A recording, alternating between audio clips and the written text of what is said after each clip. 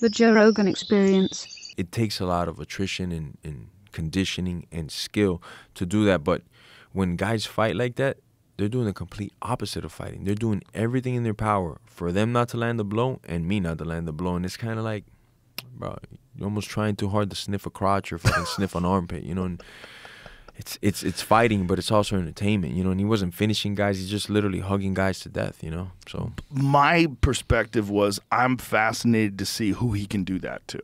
Because he did Mm-hmm. Yeah, that to a lot of guys. I mean, he did it to a lot of guys, guys that were like uh, killers, and he just put that fucking wrestling on. yeah, yeah. You know, and the beautiful thing about the way you knocked him out is you preyed on his instincts. Mm-hmm. You you went at an angle and then right to him, and his instinct was just automatically to Yeah. grab you.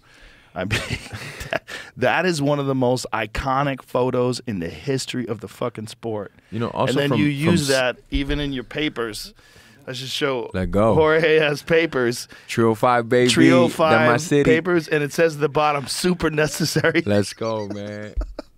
it's super necessary you get them papers. But Bro, yeah, that knockout, I mean, I remember watching that going, oh my God. you know, a, a I'll lot of that. it, a lot of it was uh, also psychological, man. I I knew from hanging out that um, he What were wasn't saying good to at him? adapting. That It's like, hey, you got to come prove it now, something like that. I was saying like all that shit talking, you got to do it now. And these guys just flapping gums at each other. Any chance they get. The fight clock is Go to the side and then boom, right in, out cold. But the whole thing is the the walking over him that really gets him, the change of speed. I uh I saw that on Twitter. You know, he's you know I always like to study my dudes in, in different ways. But I saw that This is in the uh, best decision. On- Your celebration. on Twitter. I saw that he was very uh like you know witty and always constantly writing shit like that. And I'm like, you know, he's he's a dork and a nerd, but you know he's got a little bit of wit behind the computer screen.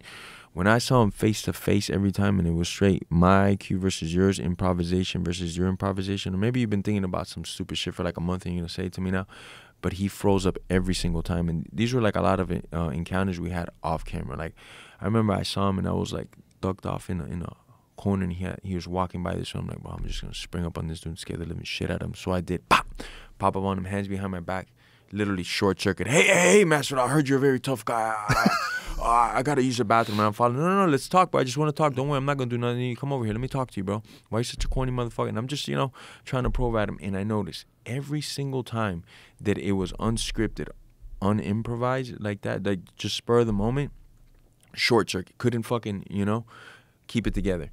So I was like, I I not only need to run at him, but I need to have like a change of speed because that's gonna make him go into his natural crotch sniffing instincts. If I just change the speed on him, he's gonna fucking duck. So that's why I came out slow, cut the little angle, and let him like, oh okay, you know, we're gonna circle it up.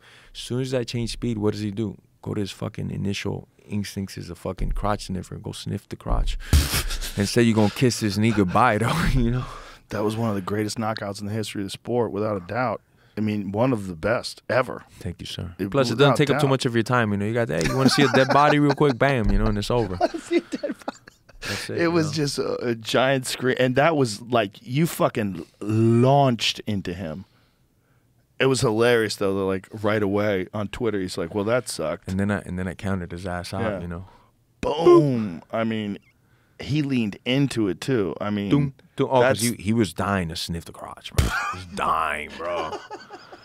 He's like he should have been invited to the Sam Bankman Fried parties. bro. Oh. horrible knockout. One of the worst ever, and one of the greatest ever. It's just the way he set it up, though. It's just, so- and then watching video footage of you practicing that Yeah. over and over and over Yeah. again, and knowing that that was a plan. So when I'm doing it the night before, I'm like 95% sh- certain because of the way he's been acting all week. Like, all I got to do at any given moment is just get this guy uncomfortable. Go from like chill to invade his space, whether it was in the opening bout or like in the second round or midway through the third. I just knew I had to invade his space and he's going to go to his natural instincts. I know I keep saying it, but I just knew it. Like, the way he'd freeze up every time we talked, the way he'd walk, the way he'd get stiff. Yeah, I just you knew like practice it. I mean, you literally practice the exact same thing over and over and over again. It's so it's so wild to see